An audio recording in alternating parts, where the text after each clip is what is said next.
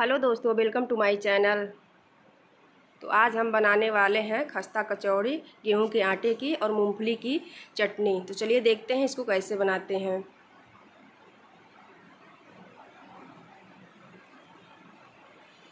तो सबसे पहले हम लेंगे आटा और इसमें हम अजवाइन क्रश करके डाल देंगे, जिससे कि इसका फ्लेवर और अच्छा आएगा। अब इसमें हम नमक डाल देंगे। फिर इसमें हमारा ऑयल जाएगा। अब इसको हम अच्छी तरह से मसल के सभी चीज़ों को मिला लेंगे आटे में, अच्छी तरह से मिक्स कर लेंगे।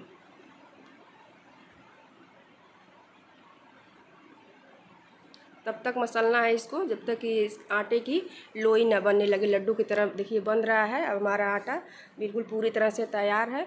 अब इसको हम पानी डाल करके गूँथ लेते हैं।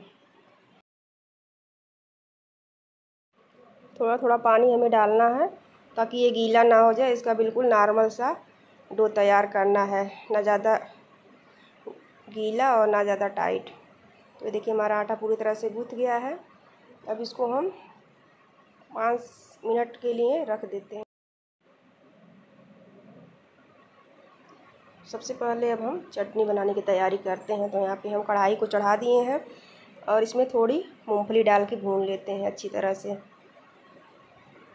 ताकि जो मूंगफली का कच्चापन है वो निकल जाए। तो यहाँ पे हमारी मूंगफली जो है अच्छी तरह से भून गई है, इसको हम निकाल लेते हैं। और आलू को हम अच्छी तरह से मसल लेते हैं। तो यहाँ पे हमने सभी आलूओं को अच्छी तरह से मसल लिया है। और फिर हम कढ़ाई को चढ़ा देंगे गैस पे। और इसमें हम डालेंगे सरसों का तेल। तेल हमारा गर्म हो गया है। अब इसमें हम एक चम्मच जीरा ऐड करेंगे। और जीरा जब हमारा हल्का हल्का ब्राउन हो जाएगा तो इसमें हम लहसुन और मिर्ची को डाल देंगे। और जब ये हमारा तड़का भी जल जाएगा तो इसमें हम आलू को डालकर एक मिनट के पका लेंगे। और फिर इसमें हम मसाले ऐड करेंगे। तो सबसे पहले हम इसमें हल्दी पाउडर डालेंगे थोड़ा सा। और फिर इसमें हम गरम मसाला ऐड करेंगे। आधा चम्मच। अब हमारा नमक जाएगा स्वाद अनुसार। अब इन सभी चीज़ों को हम मिक्स करेंगे और थोड़ा लाल मिर्ची पाउडर, आमचूर का पाउडर भी थोड़ा ऐड कर देंगे चटपटा होने के लिए। फिर इन सभी चीज़ों को हम लगभग मीडियम फ्लेम पे पाँच मिनट तक पकाएँगे। इसको बार बार हम चलाते रहेंगे ताकि नीचे जल ना जाए। अभी देखिए आलू जो है हमारे दो तीन मिनट तक भून चुके हैं, इसमें हम अब धनिया का पत्ता ऐड कर देंगे। इनको भी हम अच्छी तरह से चला लेंगे, मिक्स कर लेंगे। अब इसको हम दूसरे प्लेट में ट्रांसफ़र कर लेते हैं। क्योंकि हमारे जो ये आलू के मसाले हैं, वो बिल्कुल अच्छी तरह से तैयार हैं। अब इधर हम मूंगफली के दाने छुड़ा लेते हैं। इसका छिलका अच्छे से उतर जाएगा क्योंकि हमारी जो मूँगफली हैं वो ठंडे हो चुके हैं।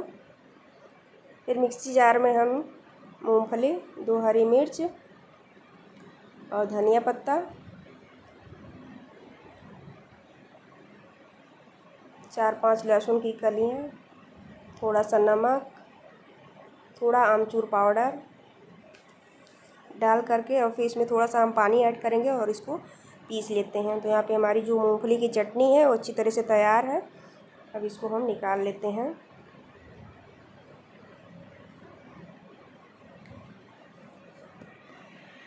फिर इधर आटे को हम एक बार फिर मसल के उसके छोटे छोटे बाउल बना लेंगे।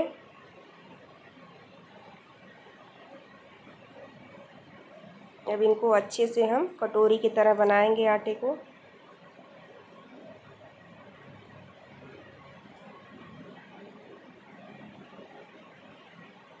अब इसी में हम अपने जो आलू के मसाले बनाए हैं, इसी में हम डाल करके अच्छे से बंद कर देंगे कचौड़ी के अंदर। इसको अच्छी तरह से दाब दाब के आप भरेंगे तो ये फूटेंगे नहीं, बिल्कुल धीरे धीरे हाथ से।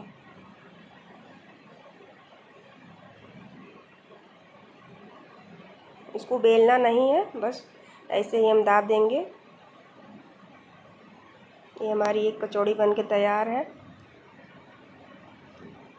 ऐसे ही हम सभी कचौड़ियों को बना लेंगे अच्छे से भर भर के।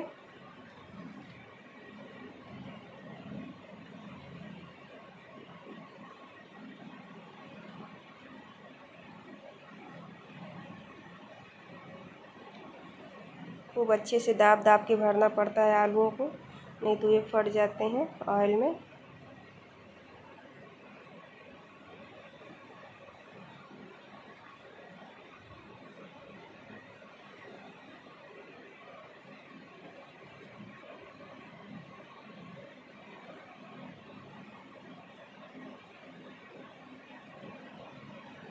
अब इधर हम कढ़ाई को फिर चढ़ा देंगे, गैस को ऑन कर देंगे। और फिर देखिए यहाँ पे हमारा तेल गर्म हो चुका है। अब इसमें हम अपनी कचौड़ियों को एक साथ दो तीन डाल देंगे और इनको मीडियम फ्लेम पे हम पकाएँगे ताकि हमारी जो कचौड़ियाँ हैं वो खस्ता होंगी।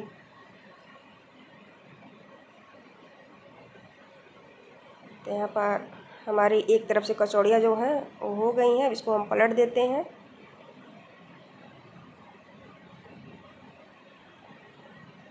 मीडियम फ्लेम कर देते हैं। देखिए, हमारी लाल लाल कचौड़ियाँ बन करके तैयार है। इसको हम निकाल लेते हैं।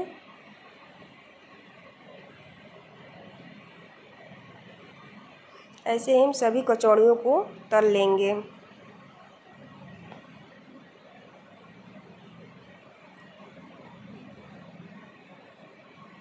एक साथ हमने सभी कचौड़ियों को बना लिया था। अब फ्राई कर देते हैं।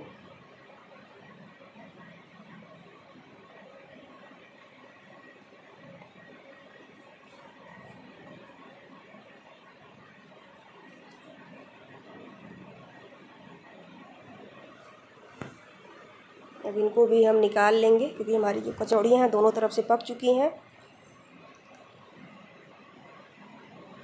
इनको निकाल लेते हैं। इस समय बारिश का मौसम है, वैसे भी कचौड़ियाँ, पकौड़ियाँ बहुत अच्छी लगती हैं। तो आप लोग प्लीज़ ट्राई करिए। यहाँ पे देखिए, हमारी जो चटनी है और कचौड़ियाँ बन करके तैयार हैं। देखिए कितना खस्ता कचौड़ी बनी है।